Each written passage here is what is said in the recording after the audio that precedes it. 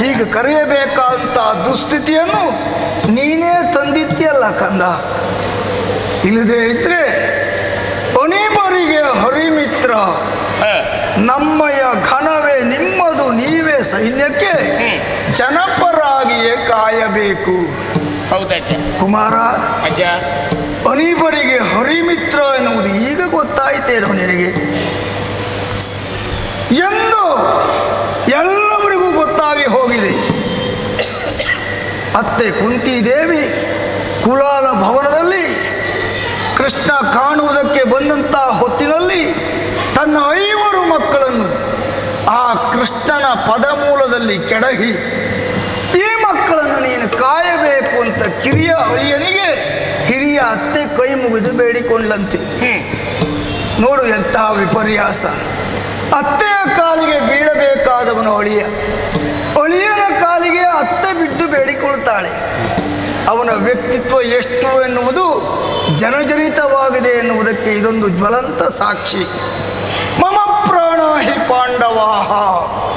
ಪಂಚ ಪಾಂಡವರನ್ನು ನನ್ನ ಪಂಚಪ್ರಾಣದಂತೆ ಕಾಪಾಡುವ ಹೊಣೆ ನನಗೆ ಅತ್ತೆ ಅಂತ ಹೇಳಿದ್ನೆ ಆಶ್ವಾಸನೆ ನಿಂತಂತೆ ಆವಾಗಲೇ ಅನಿಬರಿಗೆ ಹರಿಮಿತ್ರ ಎನ್ನುವುದು ಜನಜನಿತವಾಗಿದೆ. ಈಗ ಬಂದು ರಾತ್ರಿಯ ಹೊತ್ತಿನಲ್ಲಿ ಏಕಾಂತದಲ್ಲಿ ನೀನು ಹೇಳ್ತಿ ಕೊನೆಬರಿಗೆ ಹರಿ ಮಿತ್ರ ದುರಬೀಳ್ಯ ಕೊಡುವಾಗ ನೆನಪಾಗಲಿಲ್ವ ಮಗನೇ? ಆವಾಗ ಹೇಳಿದ್ದೇನು ನೀನು, ಕೃಷ್ಣ, ಧರ್ಮ ಅಂದರೆ ಏನು? ನನಗೆ ಚೆನ್ನಾಗಿ ಗೊತ್ತು, ಆ ಕುರಿತಾದ ಮನಪ್ರವೃತ್ತಿಯೇ ಇಲ್ಲ. ಅಧರ್ಮ ಅಂದರೆ ಏನು? ಅದನ್ನೂ ನಾನು ಅರಿತಿದ್ದೇನೆ. ಅದರಿಂದ ನನಗೆ ನಿವೃತ್ತಿಯೂ ಇಲ್ಲ. ಕೆಲವರು ತಲೆ ಅಲ್ಲಾಡಿಸಿದರು ಇದಕ್ಕೆ ಅನೇಕರು ತಲೆ ತಗ್ಗಿಸಿದರು. ಯಾಕೆ? ಕೌರವ ದುಷ್ಟ ಎನ್ನುವುದು ಕರ್ಣಾಕರ್ಣಿಕೆಯಾಗಿ ಒಬ್ಬರ ಬಾಯಿಂದ ಒಬ್ಬರ ಬಾಯಿಗೆ, ಒಬ್ಬರ ಬಾಯಿಂದ ಮತ್ತೊಬ್ಬರ ಕಿವಿಗೆ ಹೋಗಿ ಮುಟ್ಟಿತ್ತು. ತುಂಬಿದ ಸಭೆಯಲ್ಲಿ ನೀನೇ ಒಪ್ಪಿಕೊಂಡಾಗಲಿಲ್ವ ಮಗನೇ? ಅಧರ್ಮ ಅಂದ್ರೆ ಏನು ಅಂತ ಗೊತ್ತುಂಟು, ಅದರಿಂದ ನಿವೃತ್ತಿ ಇಲ್ಲ ಅಂತ ಹೇಳಿದರೆ ಪರ್ಯಾಯವಾಗಿ ತಾನು ಅಧರ್ಮಿ ಅಂತ ನೀನೇ ಘಂಟಾ ಘೋಷವಾಗಿ ಹೇಳಿದಾಗ ಆಗಲಿಲ್ವ? ನಿನ್ನ ಕೈಯಾರೆ ನಿನ್ನ ಮೂಗನ್ನು ಕೊಯ್ದು ಪ್ರಪಂಚಕ್ಕೆ ಮುಖ ತೋರಿಸಿದೆಯೋ ಇಲ್ವೋ? ನನಗೆ ಎಷ್ಟು ಬೇಸರ ಆಗಿತ್ತು ಗೊತ್ತಾ?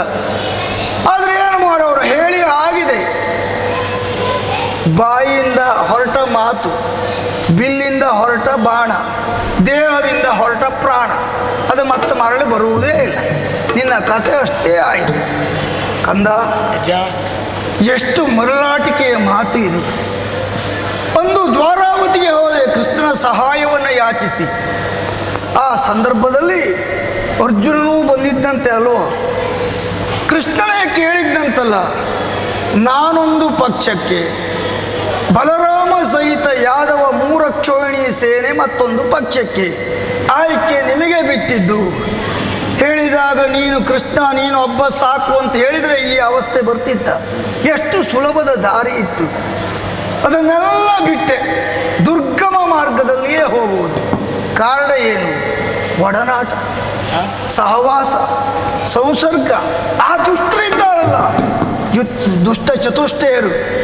ಅದರಲ್ಲಿಯೂ ಆ ಕರ್ಣ ನಿನ್ನ ಪ್ರಾಣ ಸ್ನೇಹಿತರಾಗಿ ಬಿಟ್ಟಿದ್ದಾನೆ. ಅವ ನಿನ್ನ ಕಿವಿ ಚುಚ್ಚುತ್ತಾನೆ. ಅವ ಹೇಳಿದ ಹಾಗೆ ನೀನು ಮಾಡ್ತೀಯ. ಒಂದೋ ಎರಡು. ದ್ರೌಪದಿಯ ಮಾನಭಂಗಕ್ಕೆ ಯತ್ನಿಸುವಂತ ಪ್ರಚೋದನೆ ಕೊಟ್ಟವ ಆ ಕಾರಣ ಅಲ್ವ ಪಾಂಡವರು ದ್ವೈತವನದಲ್ಲಿರುವಂತಹ ಸಂದರ್ಭದಲ್ಲಿ ಘೋಷಯಾತ್ರೆಗೆ ಹೋಗಿ ಅವರನ್ನು ಅಡಕಿಸೋಣ ಹೇಳ ಸೂಚನೆ ಕೊಟ್ಟವ ಅವನೇ ಅಲ್ವ? ಅವನ ಮಾತು ನಿನಗೆ ಸರಿ ಅಂತ ಕಾಣ್ತದೆ. ನಮ್ಮಂಥವರ ಹಿತದ ಮಾತು ಅದು ನಿಷ್ಠುರಕ್ಕೆ ಕಾರಣವಾಗ್ತದೆ. ಹಾಗೆ ಅದು ಕೆಡುವ ಕಾಲಕ್ಕೆ ಬುದ್ಧಿ ಇಲ್ಲ, ಮರಣ ಕಾಲಕ್ಕೆ ಮದ್ದಿಲ್ಲ. ಸರಿ ಮಾಡುವುದಕ್ಕೆ ಸಾಧ್ಯ ಇಲ್ಲದೇ ಇದ್ದಷ್ಟು ಹಾಳಾಗಿ ಹೋಗಿದ್ಯಲ್ಲೋ ಮಗನೇ? ಈಗ ಹೇಳ್ತಿ, ಕೃಷ್ಣನಿಗೆ ಸರಿ ಸಾಟಿಯಾಗಿ ನಿಲ್ಲುವವರು ನೀವು ಒಬ್ಬರೇ. ಮಳೆ ಬೆಂಕಿಯ ಇಂಗಾಲದ ಮೇಲೆ ಬಿದ್ದರೆ ಅದು ಇಂಗಿ ಹೋಗ್ತದೆ. ಅದೇ ಮಳೆ ಅರಳಿದ ತಾವರೆಯ ಮೇಲೆ ಬಿದ್ದರೆ ಮುತ್ತಿನ ಹಾಗೆ ಹೊಳೆಯುತ್ತದೆ. ಅದೇ ಮಳೆ ಕಪ್ಪೆ ಚಿಪ್ಪಿನಲ್ಲಿ ಬಿದ್ದರೆ ಅದು ಮುತ್ತಾಗಿ ಪರಿಣಮಿಸುತ್ತದೆ. ಆದ್ದರಿಂದ ಸಂಸರ್ಗ ಎನ್ನುವುದು ಅಷ್ಟು ಮಹತ್ತರವಾದದ್ದು. ಒಳ್ಳೆಯ ಪರಿಸರ, ಒಳ್ಳೆಯ ಒಡನಾಟ ಇದ್ದರೆ ಒಳ್ಳೆಯದೇ ಆಗ್ತದೆ. ಕೆಟ್ಟವರ ಒಡನಾಟ ಮಾಡಿದರೆ, ವಿಷ ಬೀಜವನ್ನು ಬಿತ್ತಿದರೆ, ಅದಕ್ಕೆ ಅಮೃತ ಫಲವನ್ನು ಪಡೆಯುವುದಕ್ಕೆ ಸಾಧ್ಯವಾಗ್ತದ. ವಿಷದ ಫಲವನ್ನೇ ಪಡೆದು ವಿಷದ ಫಲವನ್ನೇ ಭುಂಜಿಸಿ ನಾಶವಾಗಿ ಹೋಗಬೇಕಾಗ್ತದೆ. ನಿನ್ನ ಪರಿಸ್ಥಿತಿ ಅಲ್ಲಿಗೆ ಬಂದಿದೆ. ಹೇಳಿ ಪ್ರಯೋಜನ ನಿನಗೆ?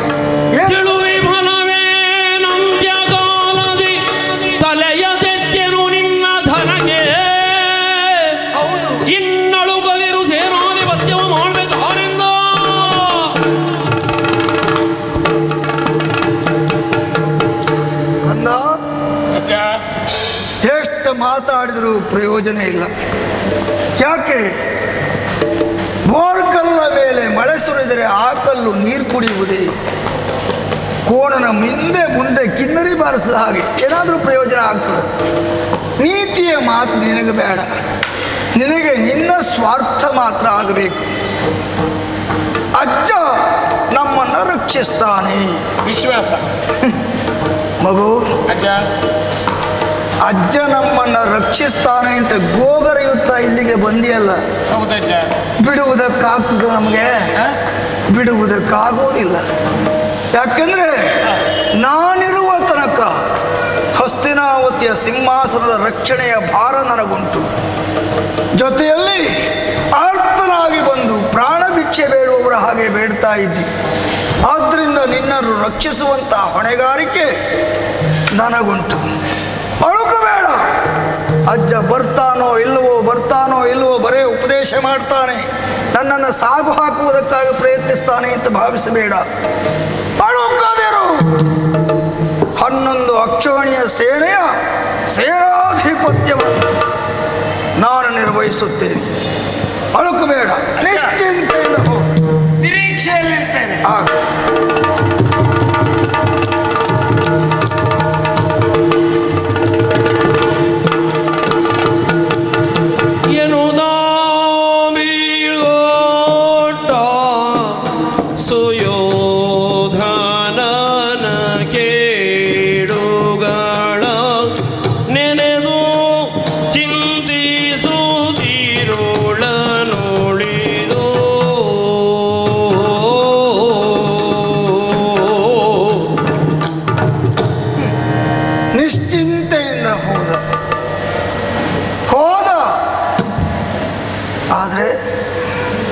ನನ್ನನ್ನು ಶಾಶ್ವತವಾದಂತಹ ಚಿಂತಾಬ್ಧಿಯಲ್ಲಿ ಮುಳುಗಿಸಿಯೇ ಹೋದ.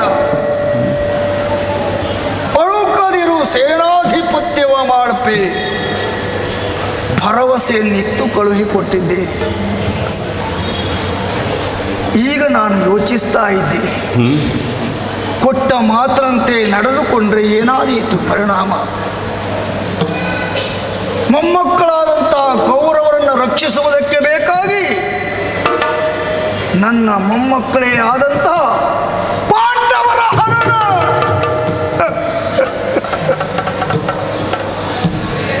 ನನ್ನ ಕೈಯಿಂದ ಆಗಬೇಕೇ ಇದು? ನಾನು ಮಾಡಬೇಕಾದ ಕರ್ತವ್ಯವೇ ಇದು? ಯಾಕೆ ಹೀಗೆ? ಯಾಕೆ ಮಾತು ಕೊಟ್ಟೆ? ಪ್ರಯತ್ನಪೂರ್ವಕವಾಗಿ ಬಂದ ಮಾತಲ್ಲ ಇದು. ಅಪ್ರಯತ್ನವಾಗಿ ಬಂದಂತಹ ಮಾತು. ಹಾಗಾದರೆ ಇದು ಯಾರ ಪ್ರಚೋದನೆ? ಓಹೋ. ಇದು ಕೃಷ್ಣನ ಸಂಕಲ್ಪ. ಹರಿಯ ಸಂಕಲ್ಪ. ದುಷ್ಟರನ್ನು ಶಿಕ್ಷಿಸಿ, ಶಿಷ್ಟರನ್ನು ರಕ್ಷಿಸುವುದಕ್ಕೆ ಬೇಕಾಗಿ ಭಗವಾನ್ ನಾರಾಯಣ ಕೃಷ್ಣಾಭಿಧಾನದಿಂದ ಧರೆಯಲ್ಲಿ ಅವತರಿಸಿದ್ದಾನೆ ಧರ್ಮ ಸಂಸ್ಥಾಪನೆಗೆ ಬೇಕಾಗಿ, ದುಷ್ಟ ನಿಗ್ರಹಕ್ಕೆ ಬೇಕಾಗಿ ಭಕ್ತರಾದಂಥ ಪಾಂಡವರನ್ನೇ ತನ್ನ ಕೈಯಾಯುಧವಾಗಿ ಬಳಸಿಕೊಂಡಿದ್ದಾನೆ. ಹಾಗಾದರೆ ನಾನು ಭಕ್ತರೇ ಅಲ್ಲವೇ? ಕೃಷ್ಣ ಹುಟ್ಟುವ ಮೊದಲೇ ಆಳೆತ್ತರದ ಕೃಷ್ಣನ ಪ್ರತಿಮೆಯನ್ನು ನಿರ್ಮಿಸಿ, ಓಂ ನಮೋ ಭಗವತೆ ವಾಸುದೇವಾಯ ಎಂದು ಅನವರತ ಭಜಿಸುತ್ತಾ ಇದ್ದಂಥ ಭಕ್ತ ನಾನಲ್ಲವೇ ನನ್ನನ್ನು ಯಾಕೆ ಕೃಷ್ಣ ಕೈಯಾಯುಧವಾಗಿ ಬಳಸಿಕೊಳ್ಳಿಲ್ಲ? ಹಾ ಹಾ, ಈ ಕಾರಣ ಇದ್ದಿರಬೇಕು. ಹನ್ನೊಂದು ಅಕ್ಷೋಹಿಣಿ ಸೇನೆ ಕೌರವರಲ್ಲಿ, ಏಳು ಅಕ್ಷೋಹಿಣಿ ಸೇನೆ ಪಾಂಡವರಲ್ಲಿ.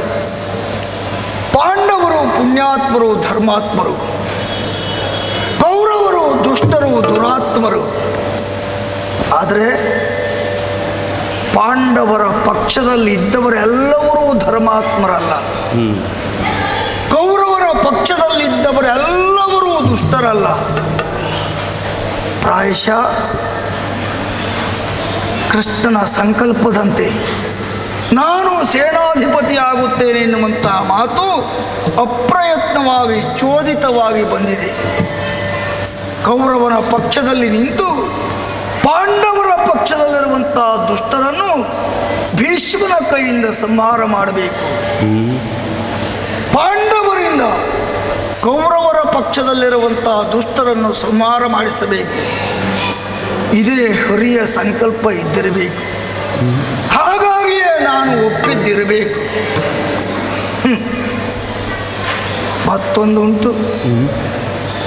ಯಾವ ವೀರ ಯೋಧನು ಕಾಡಾಕಾಡಿ ಮಾರುಮಲೆತು ಹೋರಾಟ ಮಾಡುವ ಸಂದರ್ಭದಲ್ಲಿ ಮರಣ ಬರಲಿ ಅಂತ ಬಯಸ್ತಾನೆ. ಮರಣದಿಂದ ಕೂಡಿದ್ದು ಎಂಬ ಅರ್ಥದಲ್ಲಿಯೇ ಸಮರ ಎನ್ನುವ ಶಬ್ದ ಉತ್ಪನ್ನವಾಗಿದೆ. ಎಂಟು ನೂರು ವರ್ಷ ಬದುಕಿರುವಂತಹ ಭೀಷ್ಮ ರುಗ್ಣಶೈಯಲ್ಲಿ ಬಿದ್ದು ಮರಣವನ್ನು ಹೊಂದುವುದಕ್ಕೆ ಸಾಧ್ಯ ಉಂಟೆ. ಈ ವಯಸ್ಸಿನಲ್ಲಿ ನಾನಾಗಿ ಕಾಲಕ್ಕೆದರೆ ಈ ಕಾಳಗದ ಕಣಕ್ಕೆ ಹೋಗಲಿಕ್ಕುಂಟೆ. ಎಂತಹ ದ್ವಂದ್ವ ಇದು. ಹಸ್ತನಾವತಿಯಲ್ಲಿ ಭೀಷ್ಮ ಜೀವಂತ ಇರುವ ತನಕ ಪೃಥ್ವಿಯಲ್ಲಿರುವಂತಹ ಯಾವ ಯೋಧನೂ